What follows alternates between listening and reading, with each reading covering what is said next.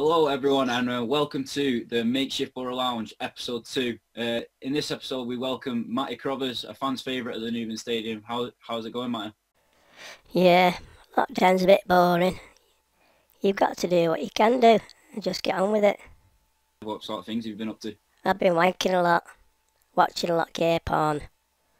But please don't tell the lads that. Sounds like sounds That's, like fun, that, mate. Oh yeah, it is. I love it at Radcliffe in the showers with the rest of the guys. I only wish my willy was a bit bigger and I could take my shorts off. A bit of a like a Netflix uh, Boro recommendation. Yeah, Netflix. Just started watching that gay thing, you know, the one everything sucks. Well, I do. yeah.